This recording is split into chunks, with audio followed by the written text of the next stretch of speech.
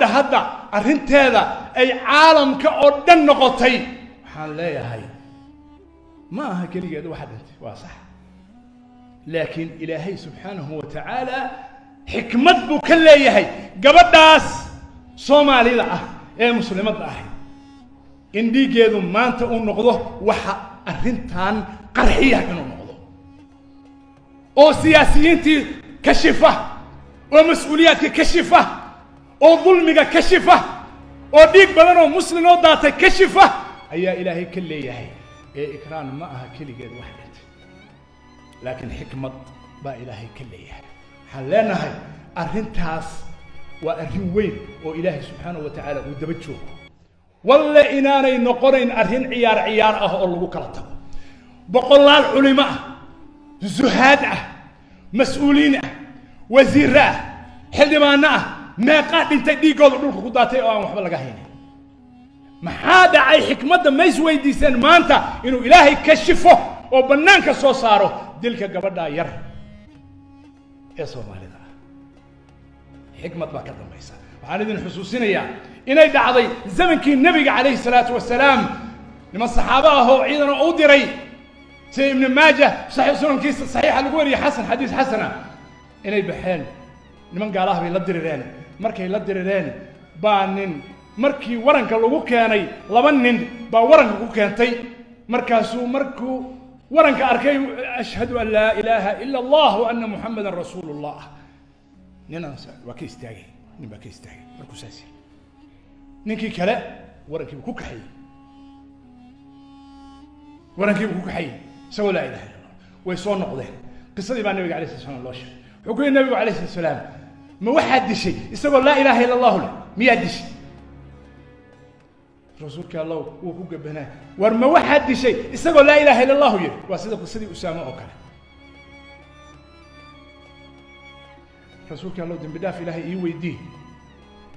Wuu ka aamusay nabigu alayh slam ma waxaad dishay? Isagoo laa ilaha illa allahu yidhi miyaad dishay? Sidii baa dhacday ninkii ayaamo kadib wuu dhintay waa la xabaalay. Markii la xabaalay ayaa subaxdii waxaa la arkay meedkiiyo bannaanka yaal. Waxay is yidhaahdeen waxbaa bahal baa qoday waxbaa qoday. Meel wax kale ku xabaaleen xabaashii bay dheerayeen waa ku celiyeen. Subaxdii waxay arkeen isagoo bannaanka yaal. Mar saddexaad ciidan bay dhigeen ilaaliya caawa oo dab halkan ka shita oo bal qabrigan waxa ka dhacaya fiiriya hurdo un baa hadhow qaaday nimankii maydkiiyo bannaanka yaalla subaxdii arkay. Nabiga alayh slat slam baa loo sheegay wuxuu yidhi alayh salaatu wasalaam dhulka waxaa ku jira buu yidhi ninkan dad ka shar badan baa dhulka ku jira oo dhulku aqbalaa laakiin ilaahay subxaanahu wa tacaala wuxuu idin tusayey xurmada uu leeyahay dhiigga muslimku. Dhiigga muslimku ciyaar ciyaar maaha gabadha hadda arrinteedu taagan tahay ee dhibka weyn kicisa iyo qadiyadeedu meesha ay marayso aad og tihiin meel cidlaa ma dhacayso. Waxay ila tahay dhiiggaas in ilaahay daba socdo. Ilaahay subxaanahu wa tacaala wuxuu daba socdanaha cid badbaadin karta ama hor istaagi kartaa ma jirto. Xukaamta soomaaliya waxaan leenahay gabadhaas iyo ehelkeedii waxay ramsi u tahay tusaale waxay u tahay malaayiin soomaaliya oo dhimatay dhulka hoosteeda ku jira.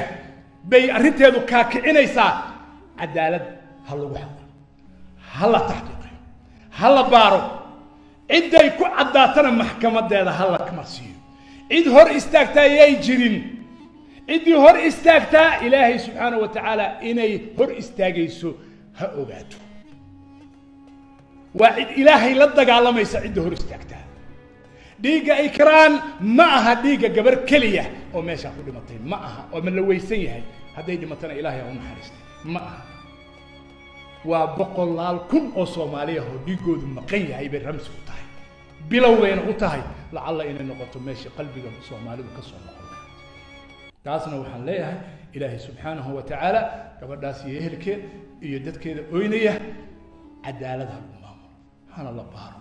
Nebigu calayhi salaatu wasalaam markii laga shafaaco qaaday gabar reer quraysha oo waxadday oo gacanta la raba in laga gooyo oo dadkii uu dad ugu jeclaa u tageen oo usaama u tagay wuxuu ku yidhi atashfacu fii xaddin min xuduud illah inta wejigiisu isbedelay nebiga calayhi salaatu wasalaam. War ma xad ilaahay ayaad doonaysaa inaad ka shafaaco qaado oo aad hor istaagto? Saas darteed ayuu ku yidhi wallaahi wallaahi nebigu calayhi salatu wasalaam kumana khasbanayn inuu dhaarto low saraqat faatimatu bintu muxammadin laqadactu yadaha. Cadaaladda muslimku saas wey cadaaladda islaamka kitaabka ilaahay laydin leeyahay u noqda oo qalbigiinu ha u khushuuco taas weeye. Cadaaladda qofka weyn ma jiro gabadhi nebi maxamed buu leeyay gacanta ka goyn lahaa hadday maanta wax hadli lahayd. Xaashaa lilaahi inay haddeen laakiin waa tusaale sida soomaalidu tirahdo weysha qal dibigu ha ku quusta. Ku quuso. Marka taasna fariintaas ayaan u dirayaa madaxda soomaaliyeed. Waxaana leeyahay ilaahay ka baqa oo dhexdiinna islaaxiya nagana xishooda oo ilaahay ka xishooda oo dadka adduunka jooga ka xishooda. Wax aan dowladnimo ahayn oo sharaf ahayn oo magac noo ahayn oo adduunku nagu qasrana ha samaynina. Wixiina hoos u samaysta haddaad samaysanaysaa ilaahay subxaanahu wa tacaala kitaabkiisa u soo noqda oo culimo iyo kitaabka ilaahay ku kala baxa oo maxkamadda ilaahay imaada haddaad diiddaan sow maaha falaa ta'sa cala alqowmi alfaasiqiina ayaa idin sugaysa